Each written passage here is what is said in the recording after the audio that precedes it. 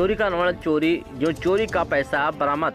बहराइच श्रीमान पुलिस अधीक्षक महोदय, बहराइच द्वारा अपराधियों अपराधियों के विरुद्ध चला जा रहा अभियान के क्रम में श्रीमान अपर पुलिस अधीक्षक महोदय श्री कुंवर ज्ञानचंद सिंह के क्षेत्र का कैसरगंज महोदय कमलेश कुमार सिंह के कुशल नेतृत्व में प्रभार निरीक्षक महोदय द्वारा गठित टीम ने आज चोरी का अनुमान चोरी यो चोरी का पैसा बरामद हुआ। देखिए खास रिपोर्ट जुबैल खान के साथ।